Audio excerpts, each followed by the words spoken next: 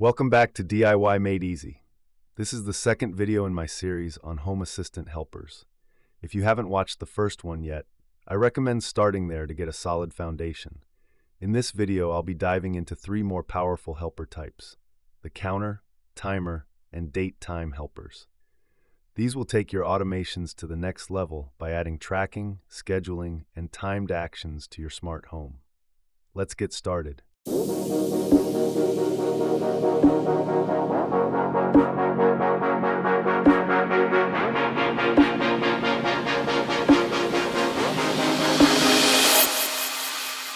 All right, let's dive into another powerful Home Assistant helper, the Counter Helper. This tool is great for keeping track of event counts in your smart home. Unlike a simple toggle or number helper, a counter stores and increments values dynamically, making it perfect for automations that need to respond to usage patterns or thresholds. Let me show you a practical example. I have a sensor on my fridge door and I want to be alerted if the door is open too many times, since that's not very energy efficient. To set this up, I go to Settings, then Devices and Services, and navigate to the Helpers tab. In the bottom right, I click Create Helper and select Counter from the list. I'll name it Fridge Door Counter, set the minimum value to 0 and the maximum to 50. I'll leave the step size at 1 since I want the counter to increase by 1 every time the fridge door is opened. Now let's display this counter on my dashboard. I go to the helpers dashboard I created in the last video and enter edit mode by clicking the pencil icon in the top right. Then I click the plus button to add a gauge card. I delete the default entity and select fridge door counter as the entity. I'll set the minimum to 0 and the maximum to 20. To add some visual impact, I enable define severity and configure it so that when the count reaches 5 it turns green, at 10 it turns yellow, and at 15, it turns red. Now I have a gauge that visually represents how many times the fridge door has been opened, but for this to work, I need an automation. I go to Settings, Automations and Scenes, and click Create Automation. For the trigger, I select Entity State, then choose my fridge door sensor as the entity. In the To field, I set it to On, so the counter increases each time the door is detected as open. Next, I add an action, Counter Increment, and select Fridge Door Counter. I save this automation and call it Fridge Door Opened. Now if I go back to the dashboard and open the fridge door, the counter starts incrementing. When it reaches 5, the gauge turns green, at 10, it turns yellow, and at 15, it turns red. But there's one problem. If we don't reset the counter, it just keeps going. So I need to create another automation to reset it daily. I go back to automations and create a time-based automation that runs at midnight. For the action, I select Counter Reset, then choose Fridge Door Counter as the entity. I save this and name it Reset Fridge Counter. Now every night at midnight, the counter resets to zero, so I get a fresh count each day. If I manually trigger this action, the counter resets back to zero. Now if I check the dashboard, I can see that the counter has been cleared and as soon as I open the fridge door again, the counter starts incrementing just like before. The last thing missing is an alert when the fridge door has been opened too many times. To do this, I create another automation with a numeric state trigger. I set the entity to fridge door counter, and in the above field, I enter 10. For the action, I choose announce and set the target to my Home Assistant voice assistant. I write a message like, the fridge door has been opened too many times. Then save it. Now, when I check the dashboard and see the counter going up, once it reaches 11, I'll receive a voice notification. The fridge door has been opened too many times. This is just one way you can use the counter helper, but there are plenty of other possibilities. Tracking how often a motion sensor is triggered, counting button presses, or even monitoring appliance usage. Now, imagine I forget my fridge door open. It happens to the best of us. But leaving it open for too long wastes energy and can spoil food.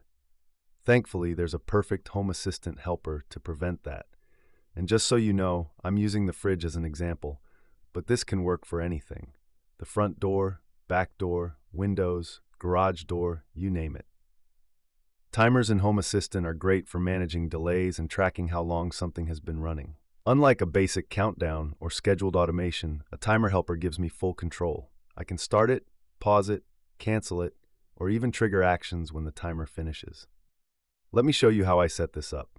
First, I go to Settings, then Devices and Services, and open the Helpers tab. I click Create Helper and select Timer from the list. I'll name it Fridge Door Timer and set the duration to 10 seconds for this demo. Of course, in real use, I'd set it to something more practical, like 5 minutes or more. Then I hit Create. Now I want to add it to my dashboard. I enter Edit Mode, click the plus button, and add an Entities card. I remove the default entities and add both the fridge door sensor and the fridge door timer. This way I can see if the door is open and if the timer is running. I hit Save. Right now the dashboard shows that the door is closed, the sensor is off, and the timer is idle. But I need to set up an automation to start the timer when the door opens. So I go to Automations and Scenes, click Create Automation, and set the trigger to Entity State. I select the fridge door sensor and set it to trigger when it changes to on. For the action, I select Timer Start and I choose my fridge door timer. I hit Save and name it Start Fridge Door Timer. Now back on the dashboard, if I open the fridge door, the timer starts, and every time I reopen the door, the timer resets. Next, I want to receive a notification when the timer finishes, so I create another automation. This time, I set the trigger to Manual Event. I enter Timer Finished as the event type and specify the fridge door timer in the event data. I'll leave this in the description. To make sure I only get notified if the door is still open, I add a condition, entity, fridge door sensor, state, on. One thing I didn't mention before, this value may be different depending on the sensor you're using. It might be open. For the action, I choose announce and set it up to use my Home Assistant voice assistant. I type in a message like warning, the fridge door has been open for too long. I hit save and name it fridge door open too long. Now back in my dashboard, I can see that if I open the fridge door and leave it open, the timer counts down, and when it finishes, I get a voice notification. Warning, the fridge door has been opened for too long. But there's one issue. If I open the door and then close it before the timer finishes, the timer keeps running. That's not what I want. I need it to cancel if the door is closed in time. So I create one more automation. For the trigger, I choose Entity State, selecting the fridge door sensor again. And for the state, I choose Off. Then for the action, I select Timer Cancel and choose my fridge door timer. I hit Save and name it Cancel Fridge Timer. Now back in my dashboard, I can see the final setup working. If I open the fridge door, the timer starts, but if I close it before the timer finishes, the timer stops immediately.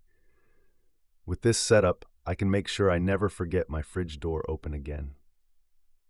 And like I said before, you can use this for any other door, window, or even appliances where you need a time-based reminder. You can also use it to bathroom fan auto shut off, turn off the fan after a set time to save energy. Lights auto off after inactivity, automatically turn off lights if no motion is detected for a while. Laundry done notification, set a timer based on washing machine vibrations and get notified.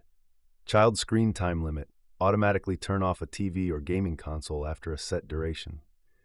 Now let me show you another incredibly useful helper, the Date Time Helper. In Home Assistant, this helper is perfect for scheduling and automating tasks based on specific dates or times. Unlike setting fixed schedules directly in automations, this lets me adjust the timing dynamically without having to edit automations every time. I actually made a video where I created a smart alarm clock using this helper, along with a few others. With it, I can easily set my wake up time using custom buttons, turn the alarm on or off, and even choose how I want to wake up. If you haven't seen that video, I highly recommend checking it out. Now let me show you how this helper works. I go to the Helpers tab, click Create Helper, and select Date and or Time from the list. I name it Wake Up Helper, set it to time, and hit Create. Next, I add it to my dashboard. I enter Edit Mode, add an Entities card, remove the default entities, and select my wake up helper. I hit save, and now I have an input where I can set whatever wake up time I want. But I need an automation to actually use this time. I go to the Automations tab, hit Create, and set the trigger to time and location. Instead of choosing a fixed time, I select Value of Date Time Helper and choose my Wake Up Helper as the entity. For the action, I add an announcement, select my Home Assistant voice, and set a message like, It's time to wake up. I save this automation and name it Wake Up Time. Now back in the dashboard, I can set any wake up time I want. And when that time arrives, I'll get a voice alert. It's time to wake up. But this helper isn't just for alarms. There are so many ways to use it. Custom schedules for home appliances. Automatically turn devices on or off at specific times. Reminders and notifications. Get notified about important events. Scheduled lighting and security. Improve home security by controlling lights based on time. Time based door locking. Automatically lock doors at night for added safety. With this helper, my automations become much more flexible and dynamic, and I can adjust schedules without modifying automations manually. And that's how you can use the counter, timer, and date time helpers to create smarter and more dynamic automations in Home Assistant. The counter helper lets you track how often something happens. The timer helper is perfect for managing delays and running timed actions, and the date time helper gives you full control over scheduling events without having to edit automations manually. By combining these helpers, you can automate routines, improve energy efficiency, enhance security, and make your smart home even more intelligent. If you found this video helpful, don't forget to like, subscribe, and hit the notification bell so you don't miss the next one. I'll be making the third part of the Helpers video series soon, where I'll cover even more useful ways to improve your smart home. Thanks for watching, and I'll see you in the next video.